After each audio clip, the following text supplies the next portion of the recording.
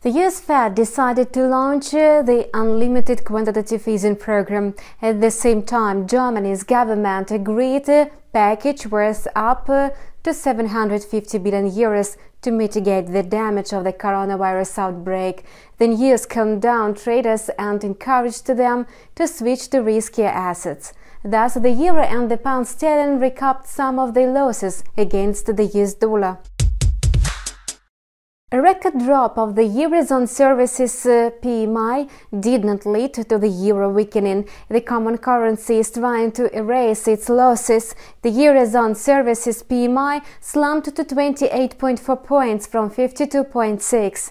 It's the deepest and sharpest drop of the indicator in the history. The Eurozone composite PMI also hit a record low, tumbling to 31.4 points from 51.6.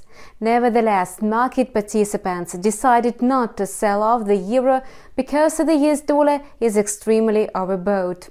Moreover, the Eurozone manufacturing PMI showed a smaller than anticipated drop.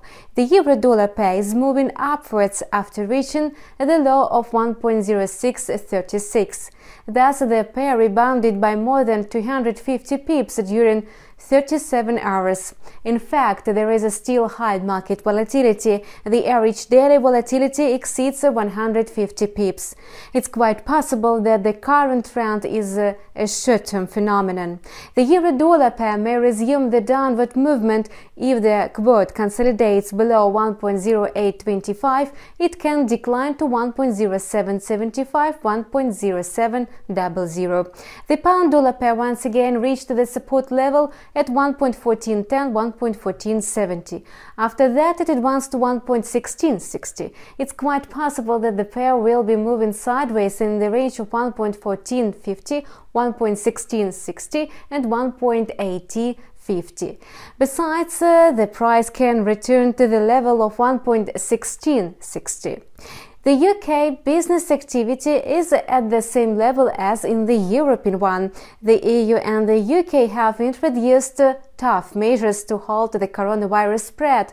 Of course, the services sector is the first to suffer from the restrictions. However, economists had not expected such a slump. That's why market participants are focused on the US services PMI. However, the US indicator will hardly show such poor figures. The fact is that Donald Trump introduced various restrictions only a week ago. Thus, the US services PMI data is expected to be much better than in Europe. If the predictions come true, the US dollar will become more attractive compared to the euro and the pound sterling. The US currency is expected to grow. However, if the US business activity in various sectors stumbles, the euro and the British pound are likely to accelerate their recovery. That's all for now. We keep monitoring the financial market situation. Subscribe to our channel and keep abreast of the latest news. See you soon.